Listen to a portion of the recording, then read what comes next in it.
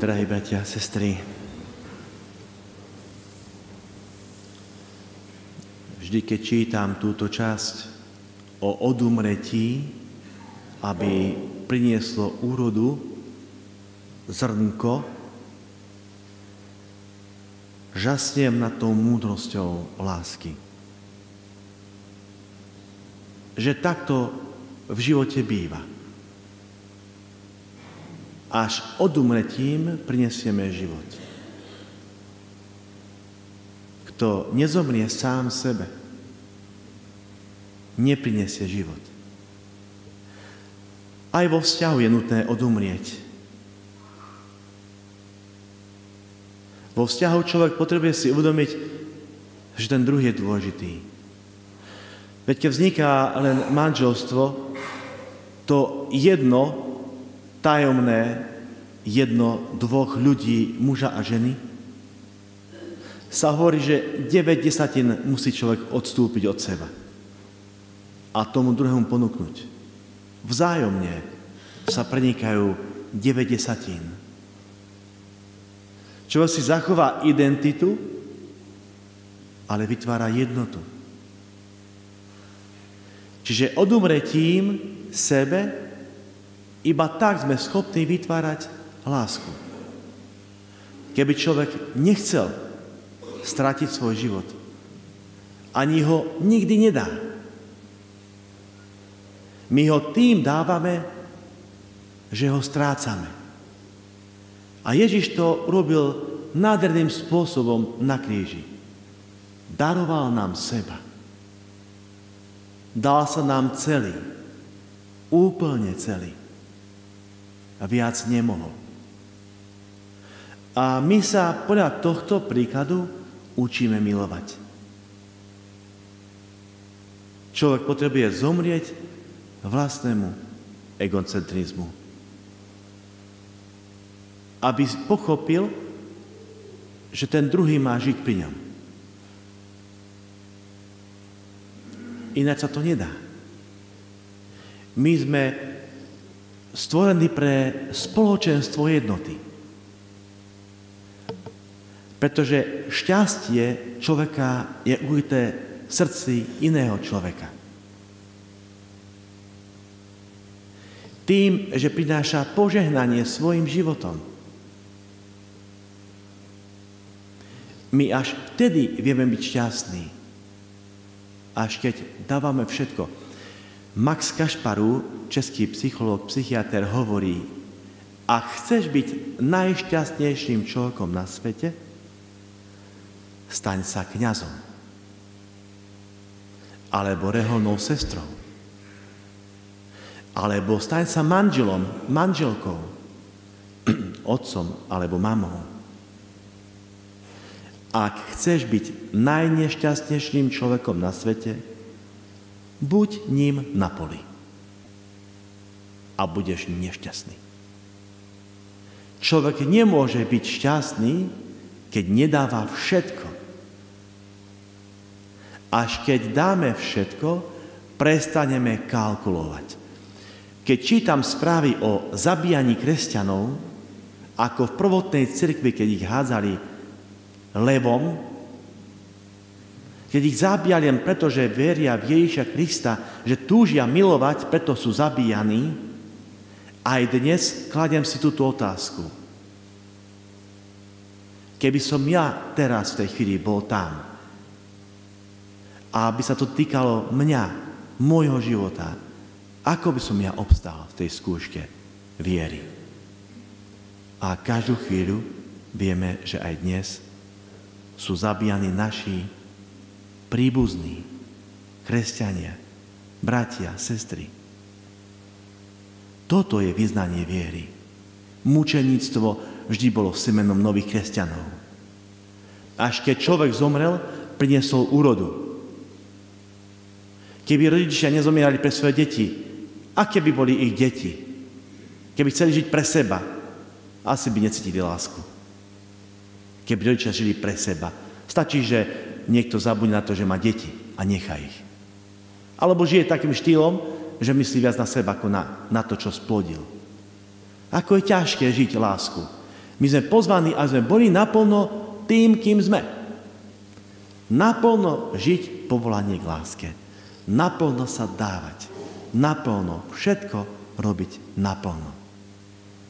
Prídeš domov a môžeš poprosiť odpustenie, lebo nie sme dokonali. A povieš manželke, prosím ťa, odpust mi, že keď som ti nevedel patriť celý, keď som sa nevedel celý darovať ako manžel a byť pre teba tým, tých 90, čo potrebuješ, aby si vo mne mala oporu. A naopak, aby si ty, manželka, podal manželovi o tomto. A rodičia s deťmi prehovorili a povedali im, veľmi nám záleží, aby ste boli šťastné deti.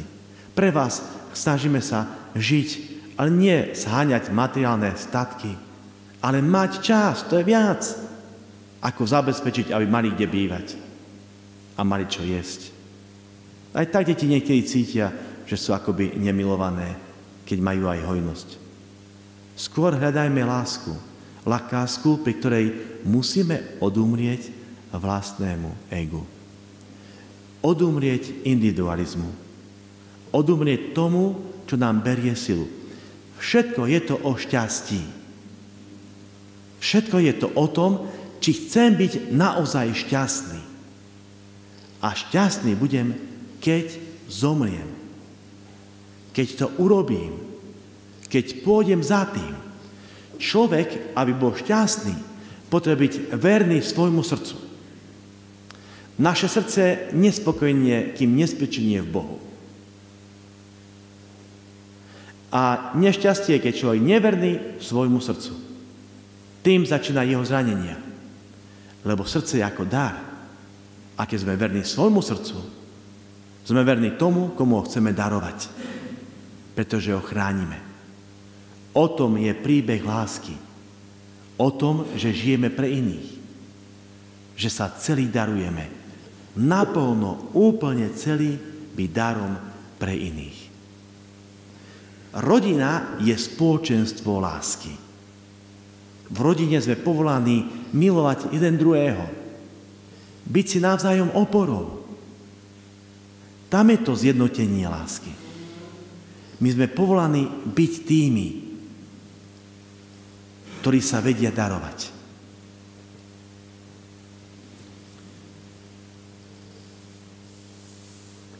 Aby človek bol šťastný, potrebuje sa naplňať troma darmi. Darom lásky, darom pravdy a darom krásy. Keď človek sa nasycuje týmito darmi, prežíva stav blaženosti. Pocit, že som šťastný, trvalo, nie iba chvíľku. Šťastie je pojem taký plitký, krátky, ktorý pomíňa rýchlo. Máš šťastie, že ťa nezazilo auto. Tak máš radosť toho, máš šťastie. Alebo si niekoho stretol po 100 rokoch, asi šťastie, že si ho stretol, alebo si vyhral. Ale bláženosť je stav, bláženosť je to stav trvalý. To je stav, do ktorého sa nám treba dostať. A bláženosť zažívame, keď sa nasycujeme láskou, pravdou a krásou. My vieme, čo je láska a nežíme podľa lásky, píše Marko Rupník. Vieme, čo je pravda a nežijeme podľa pravdy ale hovorí, až keď zažijeme krásu. Až keď zažijeme krásu, krása uchváti naše srdce. A sa rozhodneme pre pravdu a pre lásku. Až krása hýbe svetom. To krása, to je úžas, to je žasnutie nad tým, čo nám Boh dal. My sme stvorení na to, aby sme žasli. Žasný je iba ten, kto vie vnímať krásu. Kto ju nevníma, nevie žasnúť. A preto nemá radosť zo života. Stáva sa smutným. A my potrebujeme objaviť krásu, ktorá je trvalá. Je super mať okolo seba peknú prírodu. Alebo ľudí, čo dobre vyzerajú a sa z toho tešiť. Ale ak nemajú vnútornú krásu, nebudeš tým dlho šťastný. Keď povie chlapec dievčaťu, je krásne s tebou byť, no nechcel by som s tebou žiť. Vieš, čo hovorí, nie? Dobre vyzeráš na jeden večer.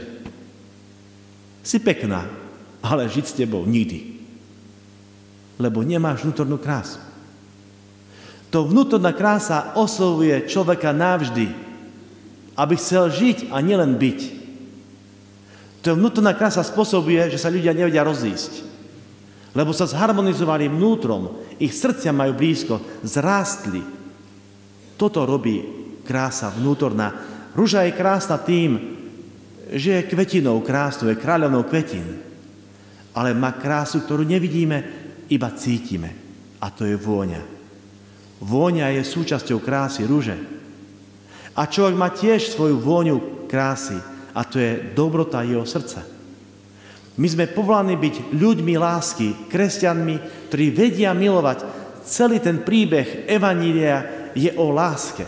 My sa učíme mať radi. Toto chcel Ježiš, aby ľudia sa mali radi. Aby sa prestali podvádzať, klamať, aby si odpúšťali, aby vedeli milovať. Sú tri slova, ktoré si treba povedať každý deň. Prosím, odpusť a ďakujem.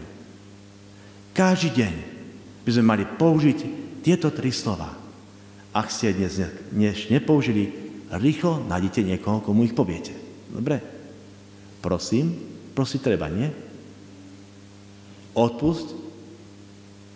Nie sme dokonali, robíme chyby, nie? Tak povieme odpusť. Keď sme každý deň použili slovko odpusť, koľko pokoja by bolo vo svete, nie?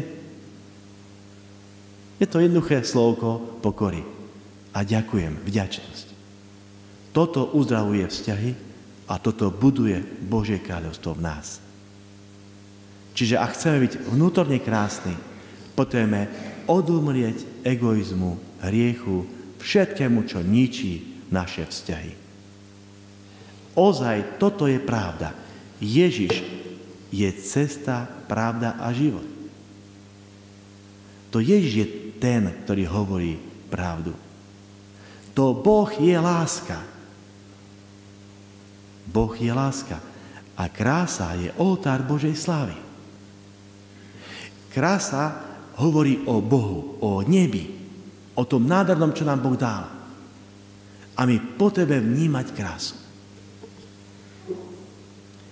Keď sme mali stretnutie mladých o láske, tam, kde ja žijem, ročne prejde okolo 6 tisíc mladých cez centrum. Sú tam stretnutia mladých o vzťahoch, o láske od 15 rokov. Beží, beží to 16 rokov. To sú tisícky mladých oslovených. Jedno dievča strašne tam chcelo ísť z Bratislavy, pretože chcela zažiť posilnenie v čistej láske. Mala priateľa, ktorú na ňu naliehal a chcela sa posilniť. A on ju nechcel pustiť, aby sa mu tam nepokazila. Tak je zakazoval obmedzoval, nakoniec sa rozhodla. Prihlásila sa a mu oznámila, ja idem a hotovo. Tak sa nadlostil, že ide bez jeho povolenia, proti jeho vôli. Dva dní predtým si povedal, však ho tam nepustím sámu, ešte sa tam niekoho nájde. Myslel si, budeme spolu tráviť noc, bude tam 500 mladých, nie? Máme spacaky. Má svoje predstavy o tom víkende. A tak sa vyblá, že ide s ňou. Tesne pred začatím v piatok večer o 8. sa zaregistroval a omylom ho zaregistrovali, že je animátor. Ateista dostal peknú vysačku, sa nepriznal, že nejaký omyl, to je, nikto ho nepoznal, prišiel prvýkrát v živote, animátor môže byť ten iba, kto bol viackrát a neviem, doteraz ako nechápem, taká šťastná vina, že sa stala, taká chyba. On mlčky zobral tú vysačku, dostal zoznam ľudí, čo má na starosti, podrobný program, čo má s nimi prebe, preberať a tak. Na školenie rýchlo išiel pred omšou ešte do jedálne, tam im povedali, že sa má modliť za skupinku, bol ateista, sa neprizná, že je ateista, sa asi hambil o tom hovoriť. Dostal všetko, čo má mať animátor, vysvetlené. Bola svetá omša, po svetej omši skupinky, tam sa zoznamovali. A večer sme mali spoločnú modlitbu a vtedy zistil, že prídu autobusy a nám vezmú diečatá na noc do inej školy, do inej dediny. To bol naštvaný. Napísal mi list. Chcel som odísť preč. Neboli spolu ani skupinke, čiže ju až viac nevidel. Robil animátora. A on to nechcel robiť, a to nepovedal. A ešte aj na noc išiel inde, úplne bol sklamaný. No nemohol odísť, pretože bol animátor. Mal úvezok, zodpovednosť. Tak sa snažil. Napísal mi list asi po dvoch týždňoch, že sa prvýkrát v živote modlil. A že celú cestu späť až do Bratislavy preplakal. Až tam pochopil, prečo jeho dievča chce byť čisté. Až tam pochopil, prečo ju tak veľmi miluje. Pretože je čisté. Ona sa bránila sa byť čistá čistým darom lásky. Preto my potrebujeme objaviť túto krásu. On v nej našiel ozajstnú čistú lásku, v nej našiel pravdu a vnútornú krásu. On v nej našiel Boha. Preto sa modlil. My potrebujeme v živote objaviť skutočnú krásu. Je v nás ukrytá. Máme ju ponúknuť tomuto svetu, lebo svet smedí po tejto láske, po pravde a po kráse. Ježiš povedal, že máme odumrieť, aby sme mohli byť šťastní. Kto nechce odumrieť, nebude šťastný. Niekto sníva svoj život a niekto sníva, niekto žije svoje sny. Viete, kedy človek prestane snívať? Keď sa zobudí. Tak sa zobuďme a začneme žiť svoje sny. Koľko máme nenaplnených túžob? Pouvažujme nad tým. Koľko ich je nenaplnených? Jeden redaktor zistil v domove dôchodcov, robil prieskum, že 97% ľudí je nespokojných s tým, ako prežili život. Väčšina, drvá väčšina nespokojná so životom, ktorý iba raz sa dá prežiť. Obrovská hodnota už sa nezopakuje. Aká škoda, že nie sme spokojní so svojím životom. Mládež, máte pred sebou všetko. Máte pred sebou každý deň ako krásny diamant. Život je kniha, ktorú čítaš iba raz. A každý deň si na ďalšej strane. Už včerajšiu neprečítaš. Zajtra príde čistá strana. Popíšeš ju svojim príbehom o tvojom živote, o tvojej láske, o tvojom vzťahu s Bohom. Boh má moc meniť naše srdcia, ak mu dôverujeme. Preto nechajme sa s ním pribiť z lásky na kríž. Dievčatá, určite, keď máš chlapca, Povedz, dokázal by tvoj chlapec sa nechať z lásky pribiť na kríž? Ježiš, to je pribité objatie. Toto je mučenictvo lásky. Dokázať zomrieť z lásky. To by bolo pekné, nie? Keby tu dokázal. Vyskúšame? Dečatá? Hm? Páči sa im to, sa usmievajú. Tak uvidíte, naozaj láska je obeta. A myslím, že mučenictvo existuje aj mučenictvo čistej lásky byť čistý pre toho druhého človeka. Tam, kde žijem, zomelo dievča v 16 pri obrane panenstva. Mala 16, celú znásilný vojak sa bránila, tak ju zabil. Bol tom koncom druhej svetovej vojny. Koncom druhej svetovej vojny stala sa mučeničkou čistoty, začal proces blahorečenia. Poznám príbeh muža, mučeníka čistoty. Je to jeden kňaz, bol blahorečený za to, že počas vojny na fare schovával diečatá pred vojakmi, aby ich neznásilnili. A tak sa stal mučeníkom čistoty. Keď rozprávame o mučenictve čistoty, rozprávame o kráse ženy. My potrebujeme objaviť krásu ženy a sme boli schopní milovať. Lebo mama je chlebík, ktorý sa každý deň láme deťom. Mama je znakom Eucharistie. Je kniazstvom srdca v rodine. Ak dievča nebude krásne v očiach chlapca, nebude vnímať jej vnútornú krásu, bude potrebná iba na jedno, aby ju využil. A toto je e, nejaká predstava dnešného sveta o žene, o ženskej kráse, že má byť plitká. Preto chcem pozvať všetkých mladých ľudí o modlitbu za to, aby ženská krása bola obnovená, aby muži pozerali srdcom na túto krásu, ktorú nám Boh dal, aby sme ju dokázali chrániť. A muž, aby bol ozajstným ochráncom, ochráncom krehkosti, lebo na to Boh dal mužom mocné ramená. Aby láska bola chránená. Preto úlohou muža je chrániť a nezneužiť. Boh nám dal krásu. Skúsme nad tým uvažovať, čo nám všetko ponúka v našom živote. Vytvorme si cestu lásky. Ježiš nám hovorí, musíš zomrieť vlastným žiadostiam. A ak budeš odumretý egoizmu, budeš pripraveným na lásku. Pane, ja Ti ďakujem za každé srdce tu prítomné a ťa prosím o Tvoju milosť premeny, keď sa budeš Ty premiať na oltári, premeň aj nás. Amen.